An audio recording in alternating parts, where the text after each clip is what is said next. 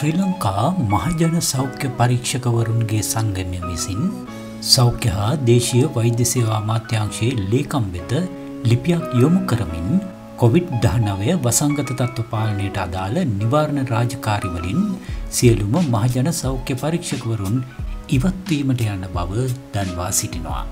එම ලිපිය සම්පූර්ණයෙන් මෙසේයි. කොවිඩ්-19 වසංගත තත්ත්ව පාලනයට අදාළ නිවාරණ රාජකාරිවලින් සියල්ම මහජන සෞඛ්‍ය පරීක්ෂකවරුන් ඉවත්වීම.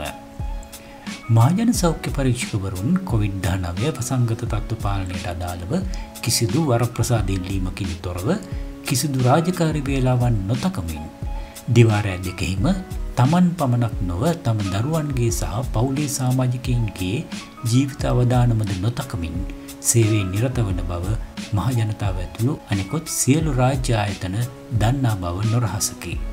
කෙසේ වෙතත් තම ජීවිත අවධානමද නොසල්කමින් කරනු ලබන රාජකාරිය නිසා පණ අදිමින් සිටින මහජන සෞඛ්‍ය නිවාරණ සේවය රඳා පවතින බව සෞඛ්‍ය බලධාරීන්ට අවබෝධ නොවීම සම්බන්ධව අප සංගමය කනගාටුවන අතරම එම රාජකාරයේ නිරත නිලධාරීන්ට අවම පහසුකම්වත් සැපීමට අපොහොසත්වීම ඉතාම කනගාටුදායකය. එසේම පහත ගැටලු ඉදිරිදිනය තුළ විසඳීමට කටයුතු නොකරන්නේ නම් දැනට පවතින අවම පහසුකම් යටතේ මසකට ආසන්න කාලයක් පවත්වාගෙනා මෙහෙවර කනගාටුවෙන්වත් දෙදහස් විස්සේ අප්‍රේල් මස හතරවෙනි දින සිට අත්හිටුවමින් සාමජිකින්ගේ ආරක්ෂාව තහවුරු කර ගැනීමට අප සංගමේ විදායක සභාව තීරණය කර ඇති බව සිහිපත් කරවී. එක අවම ආරක්ෂිත පහසුකම්වත් නොසැපයීම. දෙක ශේෂ්ඨ රාජකාරි සඳහා ප්‍රවාහන පහසුකම් නොසැපයීම.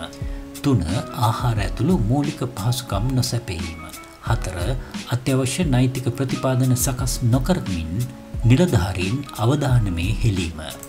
MGU රෝහණ ගරු සභාපති ශ්‍රී ලංකා මහජන සෞඛ්‍ය පරීක්ෂකවරුන්ගේ සංගමය. පිටපත් සෞඛ්‍ය සේවාධ්‍යක්ෂ ජනරාල් සියලුම පලාත් සෞඛ්‍ය ලේකම්වරුන්.